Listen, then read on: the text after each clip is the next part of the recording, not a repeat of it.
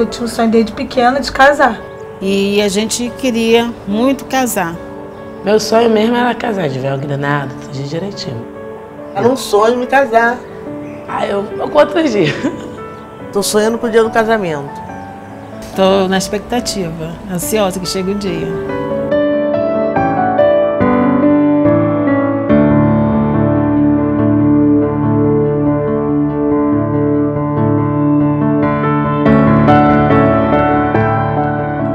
Quando eu conheci ele, eu não imaginei que ia virar 40 anos. Eu não troco essa de mão, não. Eu sou casado. Ah, ah não.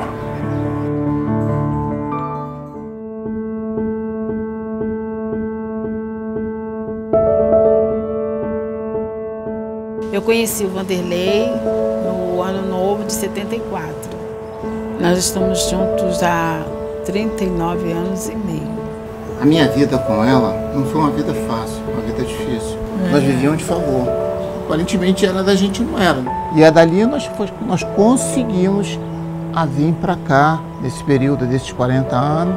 Todo mês a gente estava sempre botando um tijolinho, sempre fazendo alguma coisa, para chegar onde chegamos. Mas foi muita luta. Eu me sinto até com orgulho de falar. E a gente ficava naquela, ou casa ou arruma um canto para ficar. Mas aquele desejo de, de, de, de, casar com ela, eu já tinha no meu coração. Que a gente tem, sempre teve esse sonho e nunca teve oportunidade. E agora nós estamos tendo essa oportunidade também. Tem que estar casado para você passar exemplo de vida para outras pessoas. Eu sou o Vanderlei da Carli e a Carli é do Vanderlei.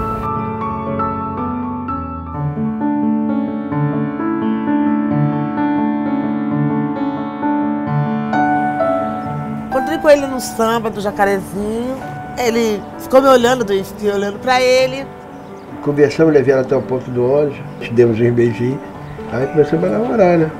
Aí eu descobri o casamento um carro do som que passou. Aí eu, quando meu marido chegou do trabalho, eu falei para ele, arrumei um casamento aí, pra gente casar de graça, você me dá seus documentos, vamos, vamos agir logo, que eu quero casar logo.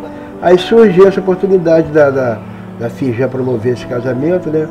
Aí eu falei, é, vamos lá. Eu cheguei em casa do trabalho, ela me falou, eu falei, vamos nessa, é agora. Porque nós já tínhamos tentado casar antes, né? É, pelo menos é, aquele casamento está, é união estágio também. Aí eu casei e levei logo a minha netas para casar junto comigo. Minha avó ligou para minha casa falando que ia ter um casamento. Aí me chamou e eu vim. Ah, eu nunca imaginei, né?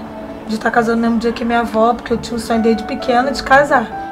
Agora, vamos ver dia 30, né? Ah, eu nem sei o que eu vou fazer, né? Eu fico pensando na roupa, eu fico pensando em tudo. Ser mais considerado marido e mulher mesmo, esposo e esposa, né?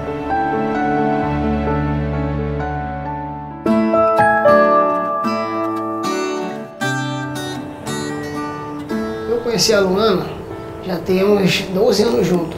Conheci ela num, num abrigo, onde eu tive que passar por causa familiar. A família total dele virou as costas. Eu falei, então combina comigo. Aí eu comecei a fazer tudo que ela fazia. Se ela fizesse percussão, eu tava na percussão. Pode ver que ele tocava surdo, eu também queria tocar é, piscina. Era a coisa que eu mais gostava, que era a piscina. Que era a parte que a gente mergulhava e começava a se beijar. A gente foi passando em trancos e barrancos. Tinha dia que comia, tinha dia que não comia, o que arrumava comia, o que não arrumava não comia. E ela sempre falando, poxa, que dia que, que, dia que a gente vai viver uma vida tranquila, que dia que você vai me levar pro altar, que dia que a gente vai casar. Eu quero casar com ela para trazer a ela segurança. Mostrar para ela que aquele rapazinho, aquele ratinho que ela pegou, se tornou hoje em dia um grande homem. Aí a gente tá aí, nessa felicidade, esperando até o dia para chegar, subir no palco e dar um beijo, dar um abraço e dizer obrigado. Depois do dia 30, agora a gente vai ser marido e mulher. É pro resto da vida. Até a morte nos separa. Porque a Carli, para mim, ela é acima de qualquer coisa. Foi graças a Fijan que nós realizamos nosso sonho de casar.